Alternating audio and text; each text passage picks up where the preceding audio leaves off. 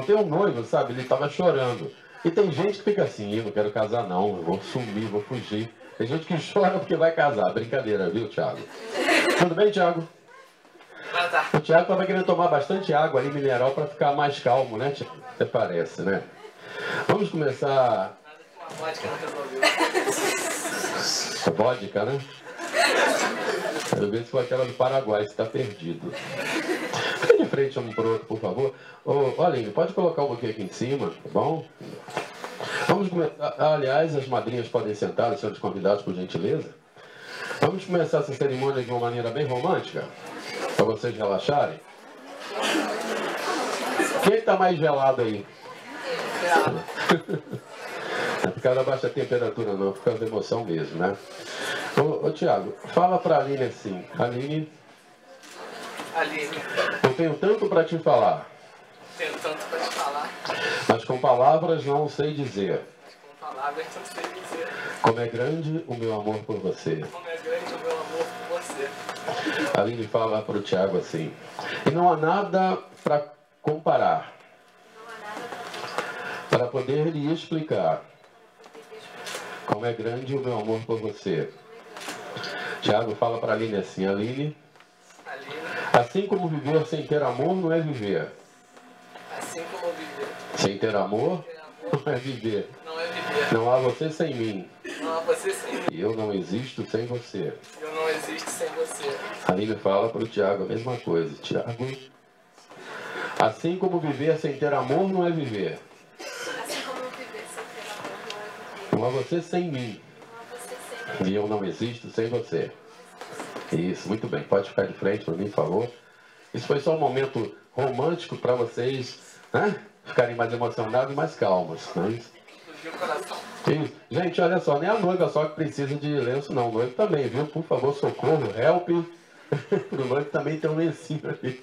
Sabe o que eu vejo, Aline e Tiago?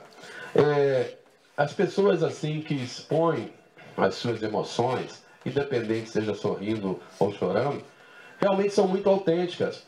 Não adianta você represar aquilo que você está sentindo, não é? Seja emoção, seja por uma tristeza, mas principalmente por alegria. Nesse momento aí que todos, é, eu acredito que não existe ninguém nessa face dessa terra, desse mundo, que não gostaria de ter esse momento. Muitas pessoas já tiveram, não é? Às vezes não foram bem sucedidas, mas nunca desistiram de serem felizes. Ninguém pode desistir do amor. O amor é um sentimento que ninguém compra no supermercado, na loja, na farmácia, não pega emprestado com o vizinho, não é? O amor se conquista. E esse amor é o, é o amor que vocês dois vêm nutrindo há tanto tempo juntos, não é? Eu acredito, sabe, Aline, que Aline, você está linda, bonita desse jeito. É óbvio que é para todo mundo, mas principalmente para um presente de Deus na sua vida, que é o, o Tiago. E muitas pessoas já têm convivência há muitos anos. E não há segredos, não há segredo, não há mágica para estar juntos 5, 10, 15, 20, 30 anos, 50 anos. É, a renúncia, o amor, o companheirismo, a confiança, o respeito, não é? Não é a religião, não é time de futebol, não é a beleza, não é a riqueza que faz com que duas pessoas fiquem assim juntas, unidas, de mãos dadas e caminhem, chega até esse momento. Muitas pessoas já estão convivendo juntas, né, há tanto tempo. Mas esse momento é tão bacana, né? É tão legal. As mulheres, eu acho isso maravilhoso nas mulheres. É esse lado da emoção, esse lado romântico de vivenciar esse momento, não é? Muitas pessoas, muita gente deve dizer, mas o celebrante Berto Braga está falando de amor, ninguém vive de amor. Ué, como não vive de amor?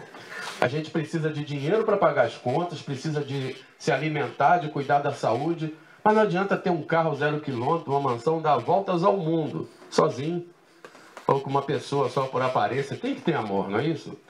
O apóstolo Paulo, é, Tiago e Aline, disse assim, ó, ainda que eu falasse a língua dos homens e dos anjos, se não tiver amor, serei como um sino que ressoa ou um prato que retine, frio. Eu que acrescentei o frio, né? O amor é paciente, o amor é bondoso, o amor não arde em ciúmes. Olha o que, que o apóstolo Paulo falou. Ele não falou de religião, ele está falando de amor. Não arde em ciúmes. Isso tem a ver com o quê? Com nós, com todos nós, casais, não é? Não arde em ciúme, não fazer filmes daquilo que às vezes não está acontecendo. Eu digo que o ciúmes é uma erva daninha no jardim do amor. Não é?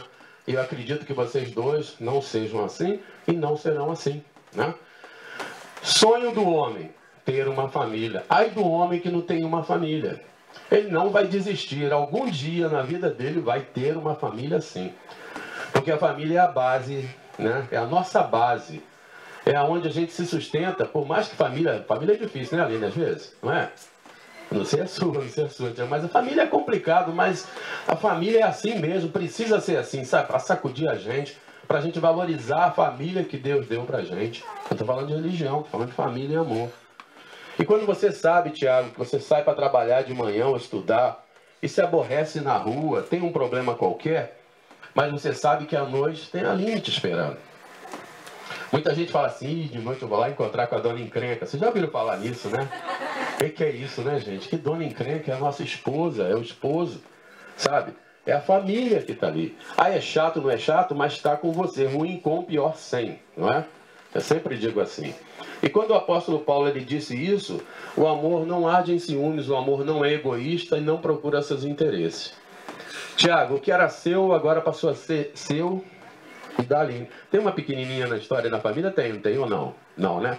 Você já tem uma filha? Não, né? Não. Sabe por que eu estou perguntando isso? Porque muitos casais já trazem uma história, não é?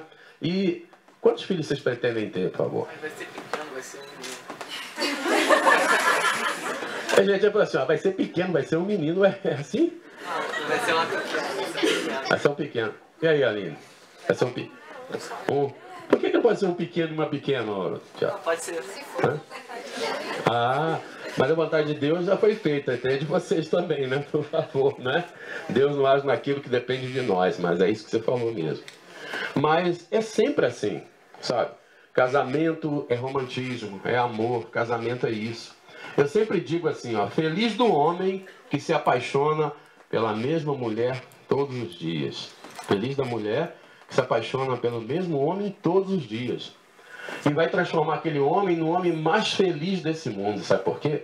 Porque ele se sente amado. Ele se sente cuidado. Ele sabe que pode contar com alguém. Não é? E você é a mesma coisa. Olha de novo para o seu lado aí, ô Thiago. Tá vendo? O presente. Você vai querer namorar agora, né? Calma, agora é casamento. É um presente de Deus que você ganhou, um presente da vida e porque você é um homem de caráter. Dá pra ver no seu rosto, mesmo com essa bagunça toda da torcida organizada quando você apareceu ali, é porque você é amado, cara, você é querido, entendeu? E não foi escolhido à toa nem por acaso pela Aline. Às vezes eu falo, sabe, Aline? Pode pegar um lencinho ali. É porque ele queria tomar uma garrafa de uísque, só tomou uma dose, pronto, ficou uísque? Não, vodka, né, que você falou, né? Tá certo. É, ô, ô Aline, uma coisa que eu sempre falo com as noivas, sabe? Como é que pode, né, num universo, num mundo, num, num planeta que tem 7, 8 bilhões, não sei. Você já se perguntou por que o, o Tiago? Você já procurou a resposta? É amor, não é? É porque estava escrito no livro da vida de Deus, enfim, no destino, mas na, no amor. Encontrar logo o, o Tiago. Eu não vou falar de bonitão, não pega mal, falar de simpático, assim, elegante, né? Mas um jovem que é um excelente filho, com certeza.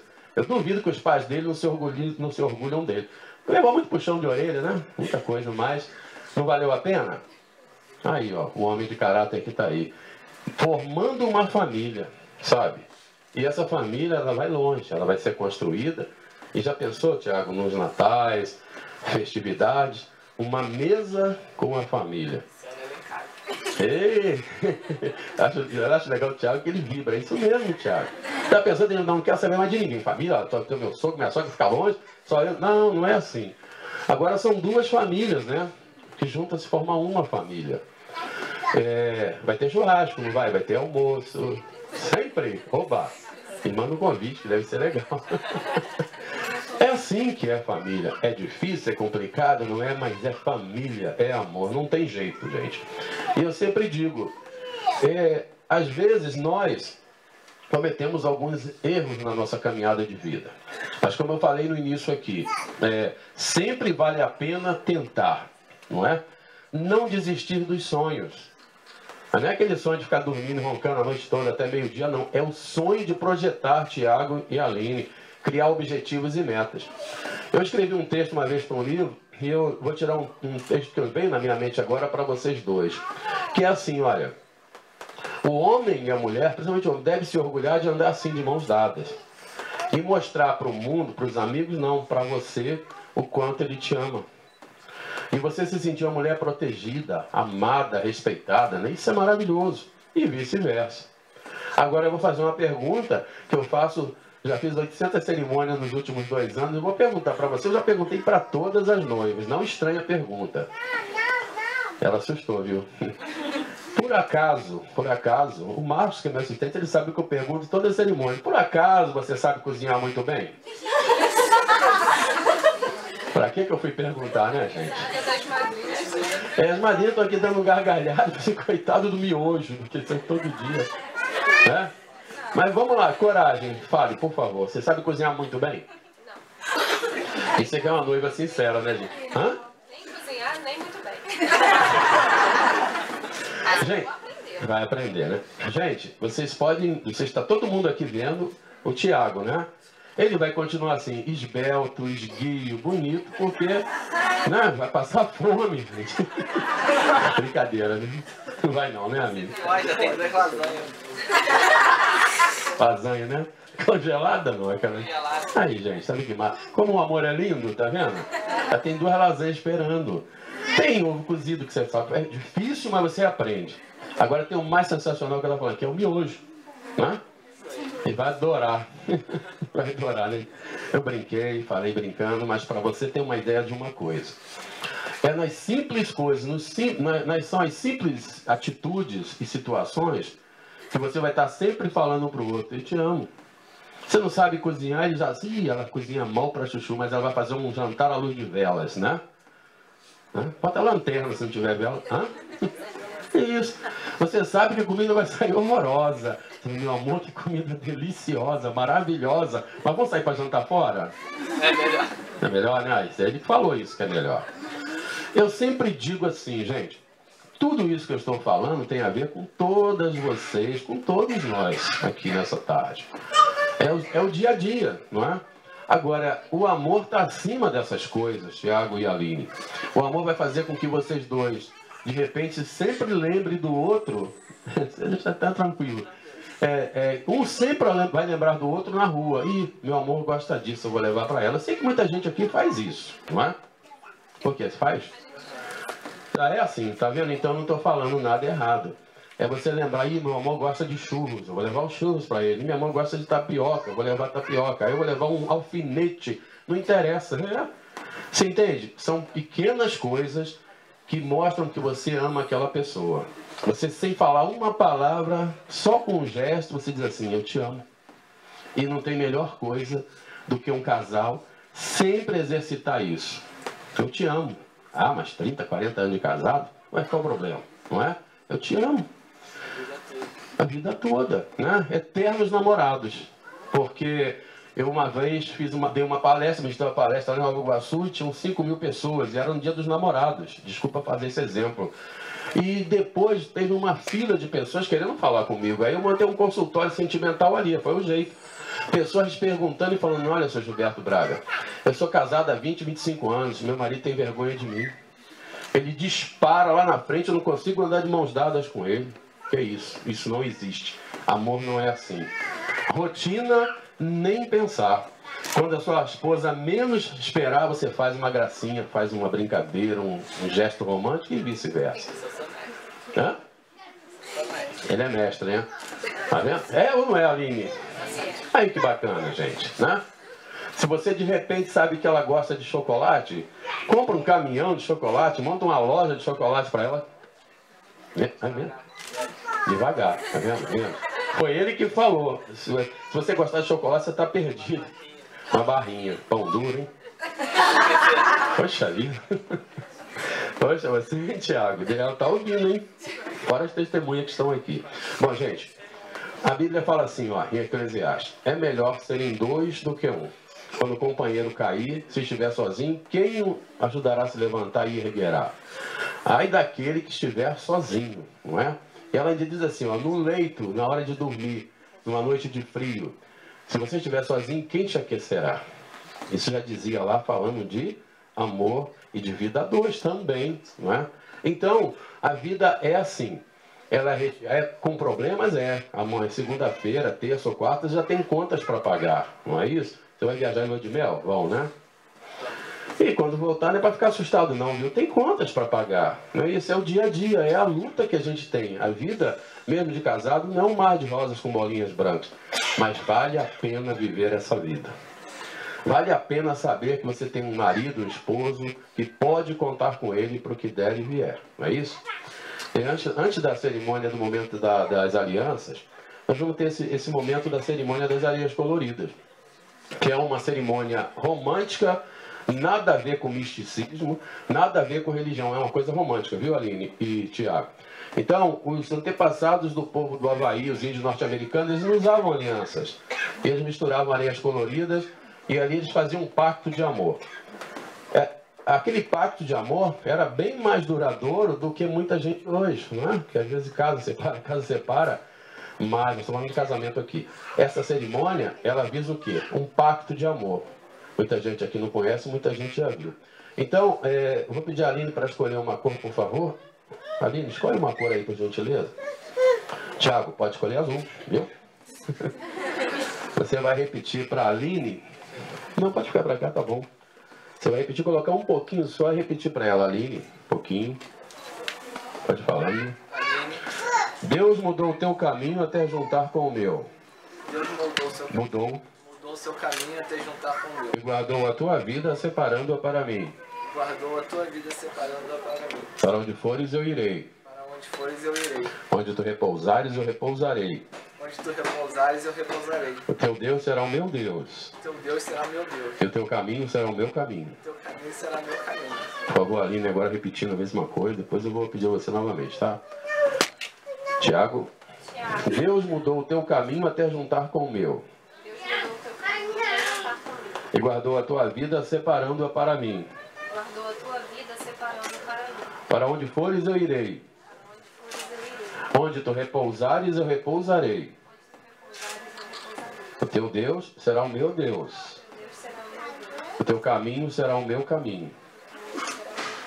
Mas os dois juntos, devagarzinho, deixa só um pouquinho no final. Assim como essas areias estão sendo misturadas, assim será a vida conjugal, o casamento e o amor de vocês.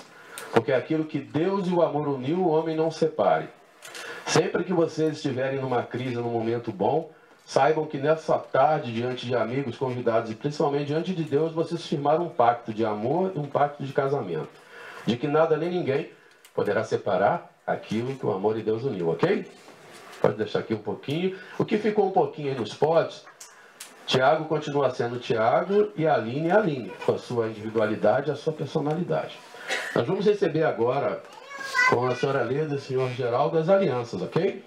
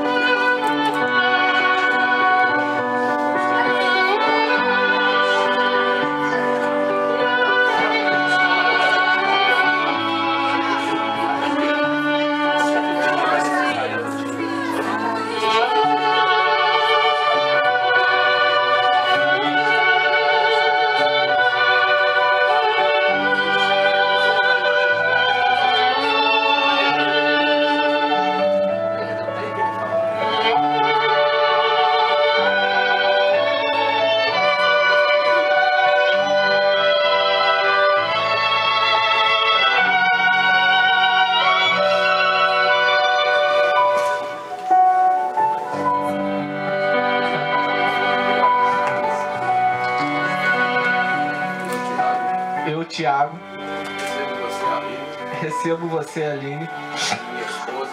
como minha esposa. Prometo ser-te fiel, Prometo ser-te fiel, leal, leal, te amar, te amar, te respeitar, te respeitar. Na alegria e na tristeza, na alegria e na tristeza, na saúde ou na doença, na saúde e na doença, e cuidar de você todos os dias da minha vida. e cuidar de você todos os dias da minha vida. Você confirma nessa tarde, diante dos amigos, convidados, familiares, enfim, diante de Deus, o Tiago como seu esposo, amigo, companheiro, marido e tudo aquilo que uma mulher sonha ao seu lado? Sim. Por favor, Tiago, coloque a aliança, isso.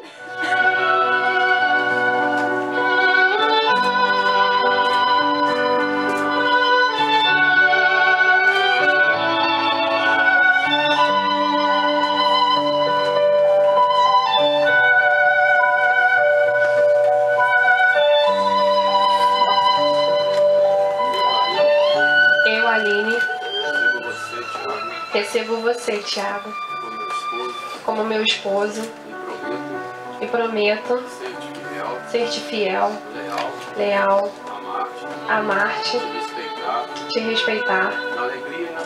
na alegria e na tristeza, na e saúde ou na doença. Ser a mãe dedicada, ser dos nossos filhos, cuidar de você todos os dias da minha vida. cuidar de você todos os dias da minha vida Te amar também. e te amar também. Tiago, depois dessa declaração de amor, você confirma. Aí de você você falar não. Aceite sim, claro. Claro.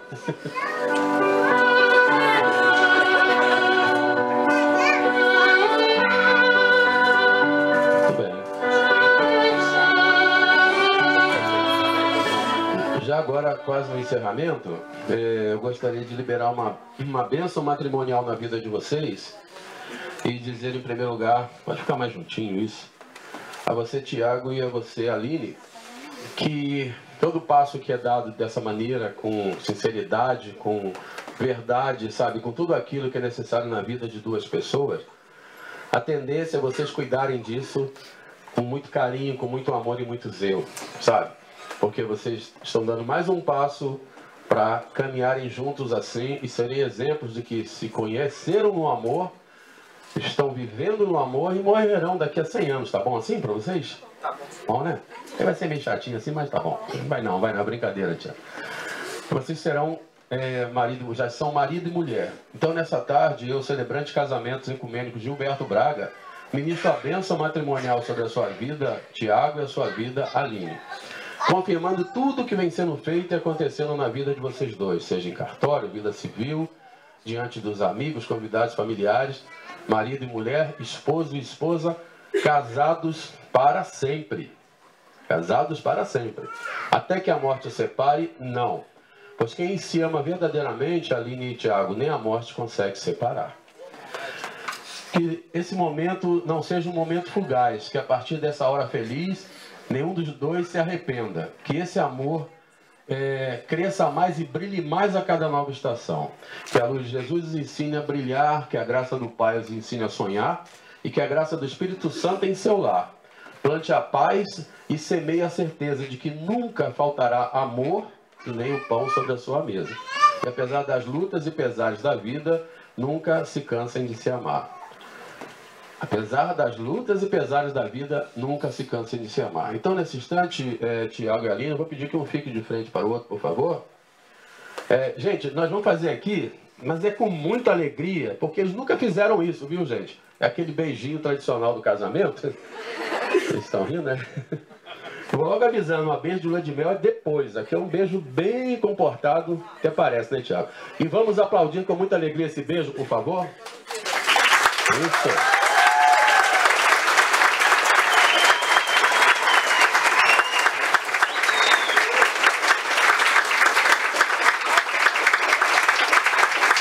Poxa, tá vendo? Esse é um certificado, um presente, Tiago. Tiago, você assina aqui, por favor.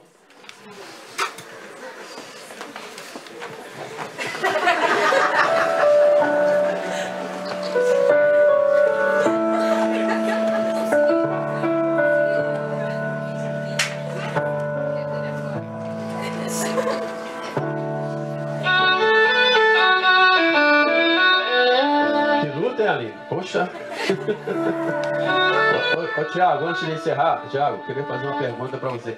Que torcida é essa organizada que você tem? Me explica aí. Todo mundo grita, subia. Tá vendo, né?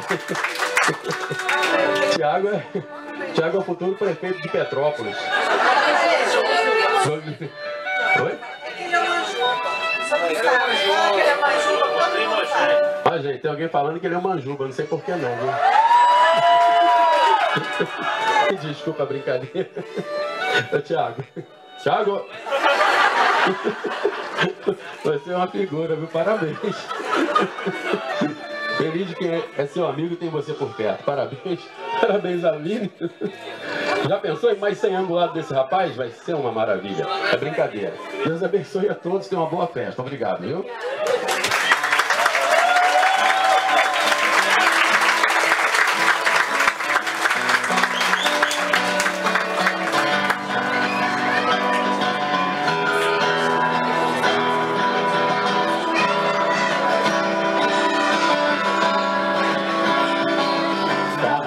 Guardei amor que nunca soube dar. Amor que te vivi sem me deixar. Sentir sem conseguir provar. Se entregar e repartir.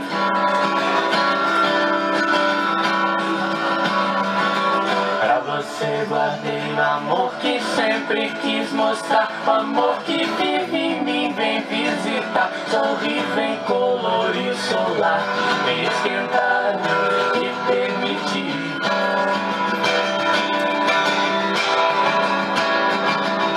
Quem acolher o que ele tem e quem entender o que ele diz no giz, no gesto, jeito, tudo do piscar dos cílios, o convite do silêncio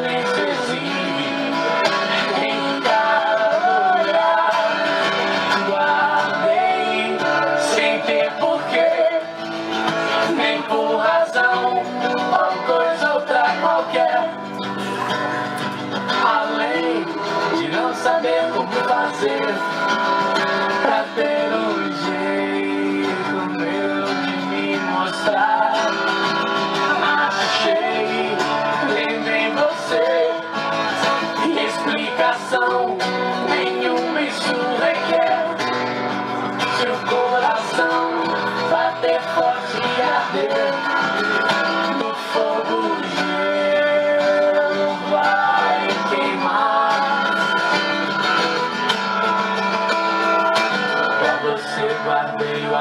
que aprendi Vem dos meus pais, o amor que tive e recebi. E hoje posso dar livre. Feliz é o cheirar na cor que o arco-íris Risca ao evitar nascer de novo, lápis, edifício, pedra e ponte. Desenhar no seu quadril, meus lábios beijam signos feitos. Se na infância, fiz sem me deixar. Sentir sem conseguir provar Sem entregar e repartir.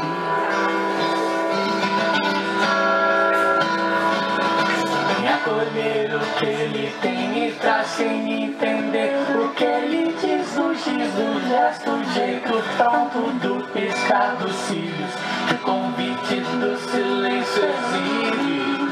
Em cada olhar, guardei sem ter porquê, nem por razão ou coisa outra qualquer. Além de não saber como fazer pra ter um jeito meu de me mostrar.